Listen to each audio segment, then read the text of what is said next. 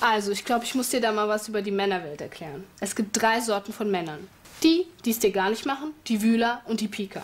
Die es dir gar nicht machen, erwarten von dir, dass du frisch rasiert ankommst und haben selbst voll den Busch am Sack. Das sind auch genau diejenigen, die jeden Abend einen geblasen kriegen wollen, damit sie friedlich einschlafen können. Ja, gut, einen Vorteil hat's ja, sind relativ ungefährlich für die Frauenwelt. Dann gibt's den Wühler.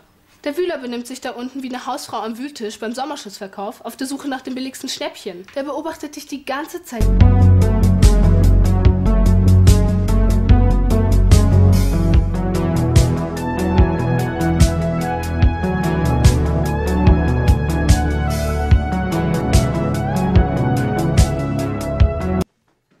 Aber es ist doch schon fast zwei Tage her, dass du ihr das QT375 gegeben hast, oder?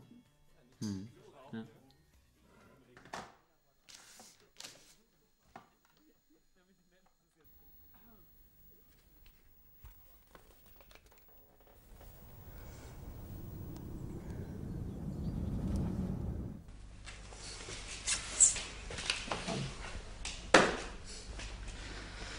so mieses Arschloch.